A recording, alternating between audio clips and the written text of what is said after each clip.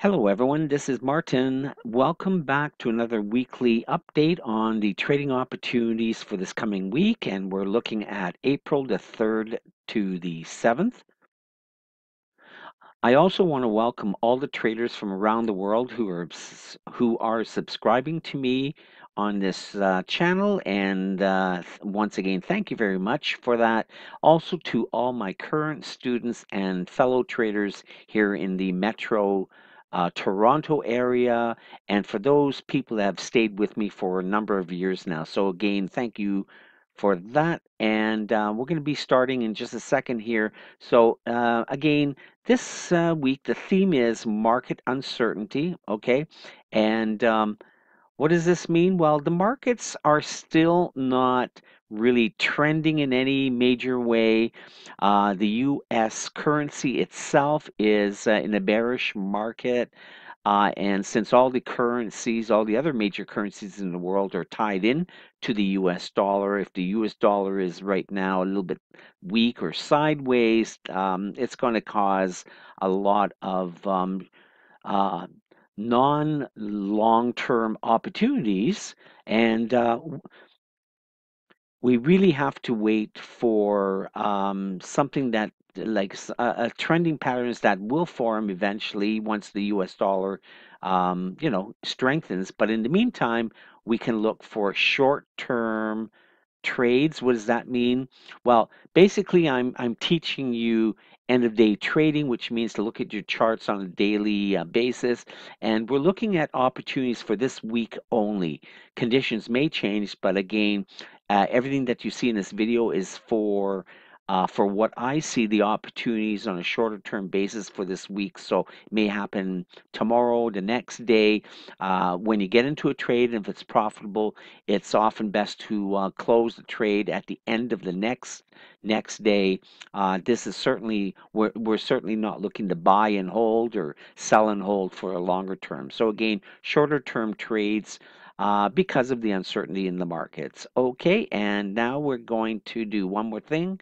We are, I have to uh, show you the disclaimer. Okay, this is my general risk disclaimer. Again, everything that you see in this video presentation is for educational purposes only, okay? Even though I may be recommending certain levels where you can uh, possibly look at trading opportunities, where to get in, and so on, uh, again, um, you have to use your own judgment based on your experience level. Um, but most importantly, it's uh, uh, you know the uh, the markets can change at any time. I mean, what I see today may change tomorrow, uh, and obviously, I can't present a video to you every single day with the different changes uh, of of the market as it happens. So again, uh, view this video at your own risk, and uh, the educational content I provide you is to help make independent help you make invent, independent investment decisions and to help you uh, learn more about the forex markets okay Okay, this is the Euro USD daily. You can see that right here. This is the daily chart, and this is what happened as of last or the previous Friday here. Uh, we have the Sunday, Monday trading, the Tuesday, Wednesday, Thursday, Friday. Okay, so this is the trading week we're looking at, and what and what I see could happen from here on in for next week. Uh, well, first of all, take a look at the MACD. The trend line is now has now crossed below the zero. The uh, histograms are certainly showing momentum to the downside. Up the uh, take a look at the candle. The last Friday, last Friday, uh, we have a close below the 50 SMA, and so in the short term, I see uh, price heading down. Okay, and once we get to this area here, take a look at the swing low, previous swing low here. Okay, I've drawn the uh, I've drawn in a support line right there. So once price comes down to here, we can expect price to come higher again, uh, maybe go sideways. But again, in the short term, I'm looking for price to go down. Okay. Now, I'm also going to switch to the uh, LEOD chart, this also gives you a different perspective on what I'm looking at. And you can see here price has come down all last week. We closed below the 50, which is this blue line. We closed below the bottom yellow um, line right here. And so I see price heading down, down, uh, down further. And um, the next uh, previous swing low, which is right here, okay, right there. Okay, do you see that? Uh, that would be where price would come to first. And if it breaks this area, it would come down even further. So um, on the LEOD chart, we can expect price to come here, uh, maybe go higher, come back down, and then maybe back up again. Okay, that's what I see on that. Let me take that off. Now we get to the British Pound USD. Now, last week, um, this was an interesting pair since uh, uh, Britain exercised its um, um, Brexit Article 50, and uh, that means uh, they formally were saying to the European Union that, hey, we're out of here and we want to go on our own, and here's the documents that you need. So we're now going to uh, uh get uh, get ourselves involved in negotiations uh, between ourselves and the European Common for trading and economic reasons and everything else. So uh, I believe the um, negotiations will last about two years, and um, that certainly is going to create some great trading opportunities for the British pound. What do I see here? Well, you can see last Thursday and Friday we had a huge bounce off the 50. On Friday we had a huge candle, up candle here, and what that means, usually I would wait, like I'm thinking price is still going to go higher. Okay, once it breaks this uh, previous swing high here, it most likely will come back all the way to, you see this uh, dash line is the 200. We have a gray rectangle here. That is our major resistance. We also have a previous swing high here to the left. You can see where my mouse is. So eventually, I think um, even even though uh, a lot of people were thinking that Brit- the British pound was going to collapse with the Brexit uh, and everything else, it it really has held its own. And what we want to make sure is that the price stays above the 50. I believe in the short term, price is going to go higher, but the best way to enter the enter a, a, new trade here is just wait for a pullback wait for price to come back to this area and uh, once it pulls back then you want to buy uh, above 125.68 125.68 if we think price is going to pull back and go higher again okay? So that's what I see there. Uh, let's take a look at the um, the LEOD for a second um, and I want to go to the, see, this is the daily chart. You can see that, but let's take a look at the weekly. So we had a bit of a doji, but I, I obviously think prices, um, it's just resting after uh, and these are weekly candles, by the way, so it's a bit of a rest, but I think price is going to go a little bit higher back to the daily there. So um, the next area of resistance would be right here to meet up with the 200. I've drawn in this gray area um, that would be if, if price breaks here, it's going to go all the way up there. Okay. Now we get to the Australian USD daily chart again. This is what's what happened since uh, the previous Friday here with this uh, red vertical line. And I believe that price here is heading down. It's uh, trending lower. You can take a look at the MACD as well. Um, most likely, price is going to come down eventually to this whole area of confluence. Uh, here's the 200, the red line 200. There's the 100 SMA. Here's the uh, a major support area. Okay, and uh, for price to come down all the way here, price first has to come to this trend line. Take a look how I drew this trend line. It took a previous major swing low here. Take a look where my mouse is. I joined up with another previous swing low.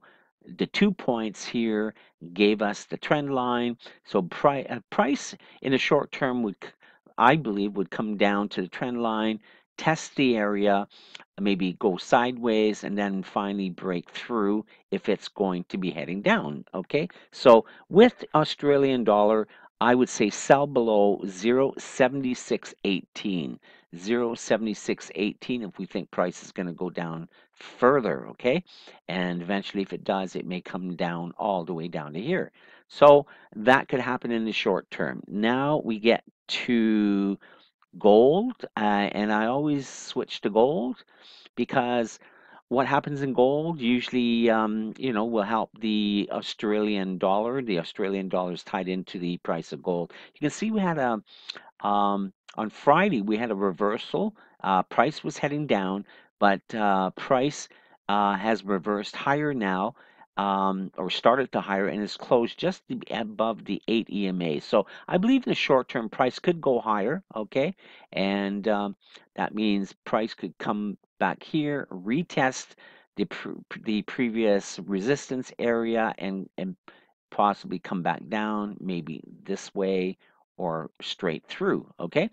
So uh, depends on what you think, but uh, let me just take that off for a second. So in the short term, I believe price is going to go higher uh, or maybe sideways uh, up and up here we have the next resistance zone and the 200 SMA okay so now we get the New Zealand USD. Here, I believe price is sideways. So I would wait here. My bias is to the downside. Uh, again, maybe a retest of um, the the resistance zone in gray here. But take a look at the MACD. It's almost right at zeros. So uh, price could certainly come higher. And if we believe price is going to go higher, what we want to do is we want to buy above 70.50. Zero, see right here where the arrow starts? Uh, we want, if we believe price is going to go higher, buy above 0 0.7050. If we believe price is going to go lower, you'd want to wait all the way till price um, comes down to the 0, 69.68 level right there. Okay, 69.68. So that's what I see there. And um, uh, we also want to have a quick quick look. And the reason I say price is going sideways, we want to have a quick look at the LEOD charts. Take a look right here, sideways action, mainly contained between um, the upper and lower yellow line. Prices coming back there. But I want to switch to the weekly, and this is interesting. See the last two weekly candles? We had a small little white doji there, a little black doji there. Basically, over the last two weeks, price has just really been going sideways. So it, it has come down on a weekly basis. Price, uh, the buyers attempted to push price higher, but it has never gone higher above this area, the 50 SMA on the weekly chart. So it's going sideways and really it could either go down or higher. Okay, now we get to the US CAD. This is the US CAD daily gain here. Stay away from this pair. It's just major sideways. Um, also want to point out something else for technical traders. Um, the moving averages are a mess here. First of all, you can see price is hugging uh, up and down on the 8 EMA. Price is above the 50, but look at this. The 100 is above the 50, and the 200 is below below the 50. So what kind of a mess is that? There's no real pattern here. I mean, if we were in a trending pattern, then uh, you'd have um, the 8 above the above the 50, the 50 above the 100, 100 above the 200, right? Everything would line up in order. Um, uh, and perhaps I could switch. Let me just take a look here. Okay, it's been a while for any trend to emerge on the US CAD, but way back here in November of 2015, you can see here um, moving averages. The 8 is above the uh, 50, above the 100, above the uh, above the 200. So that's that's the correct order. And uh, uh since then, it's just been kind of up and down all over the place, right? Um, so short-term opportunities really good here. Again, right now, stay away from this pair. It's just just a mess. It's just going sideways. So you would want to wait for price to either uh, come higher above this resistance zone for you to take a buy trade or below here to take a sell trade down to the 200 again. Okay, now we get to um, uh, gold, I'm sorry, to oil. Oil is tied into the uh, Canadian dollar. And as the uh, fortunes of oil goes, um, so does the Canadian dollar. And here we can see the price of oil has been heading higher. However, this is a short-term uptrend to continue. You can see with the MACD, but we're heading into the 100 SMA, into the 50 uh, SMA into a resistance zone right here, the gray rectangle. So price, yes, most likely will go a little bit higher, helping the uh, Canadian dollar. But after that, price most likely will uh, come up and perhaps make a U-turn back down to meet with the 8. Here's the 8, okay? And uh, then from there sideways and possibly down or up. But right now for this week, it could go up a little bit higher and then down, and that's going to create the sideways commotion with the U, uh, with the um, U.S. Uh, Canadian dollar currency pair that we're currently looking at. Okay, so let me take that off. Now we get to uh, U.S. Swiss franc. Okay, here's one pair that possibly could be tradable. It seems to be going higher. Take a look at the MACD. Uh, it may just go a wee bit higher. Here's the 100, okay? Price you can see right now has crossed uh, above the uh, 50 SMA, okay? And so if we believe price is going to go higher, take a buy trade above 10040, okay? Um, now, the reason I say price could go a little bit higher is because I'm going to switch to the um, weekly chart and this is the LEOD okay? So there's the daily. You can see the last Friday's candle closed above the top yellow line which means price most likely will go higher to the next previous swing high. This is the next resistance area right here okay? But the weekly chart shows something kind of interesting look at that that is one nice looking white uh, bullish uh, engulfing candle. It completely engulfs the uh, previous black candle on a weekly basis. So this is prompting me and telling me that most likely price will come higher to at least at least here, okay, which is uh, which is what you see on the daily chart. So let me just take that off. Uh, I'll switch to the daily. Okay and you can see right here okay? Now finally we've got the US Japanese and uh, the key for this pair the key the key thing to watch is whether this resistance uh, well here's is support. When price is coming back down it's support went up tested support again. So support is holding. Here finally support broke where price broke through support and now is testing the same area and and uh, what was previously called support as you know is now called resistance. So the key is um, watching to see whether the 8 EMA holds and this area as uh, resistance holds, right? Uh, also whether the 50 holds. So this whole area of confluence. Uh, in the short term, I believe my bias is to the downside.